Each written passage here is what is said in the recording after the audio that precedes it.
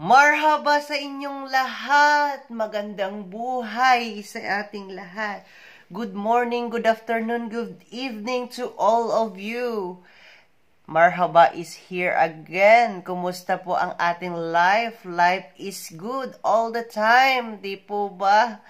Kumusta naman ang ating mga buhay-buhay ngayon? Sana ay ayos lang po kayong lahat Huwag tayong mawalan ng pag-asa. Oo, habang may buhay, may pag-asa.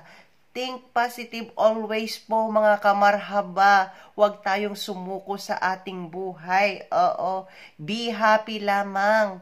Kahit marami tayong mga pagsubok, kahit marami tayong mga trials, kahit marami tayong nararamdaman, kahit nag struggle tayo ngayon sa ating buhay-buhay, alam naman natin, oo, napakahirap, napaka-crisis na ngayon ang ating buhay.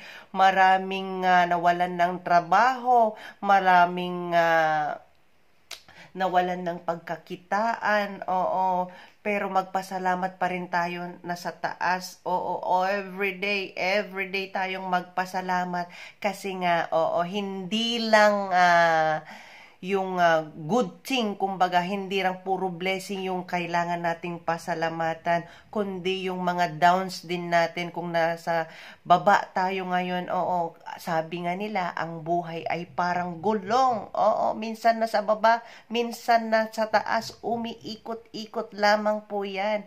Hindi tayo all the time na nasa baba. Oo, tandahan natin na iikot din ang ating gulong. Oo, oo, oo, nagsasabi Nagsasabi si Kuya New Marhaba ng magandang buhay. Think positive always lang po. Mahalin natin ang ating mga magulang, kapatid, mga kapitbahay at ating mga kalaban sa buhay. Huwag tayong lumaban kumbaga. Ah, ah, ah, ah, ah, ah, ah. Kung marami tayong mga kaaway ngayon, ay, ay pagdasal natin sila. Kung maraming nagda-down sa atin ngayon sa buhay, alam naman natin ngayon sa mundo ay uh, Dumadami na ang mga makasarili. Oo, sana ikaw ngayon ay wag ka naman makasarili. Di po ba?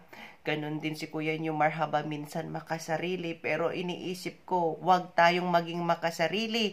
Wag tayong uh, padadala sa mga krisis na to. Huwag tayong padadala sa mga pagsubok na ito. Be humble lang tayo all the time. Oo. Lagi nating tandaan, ang ating paa ay nasa lupa ah, ah.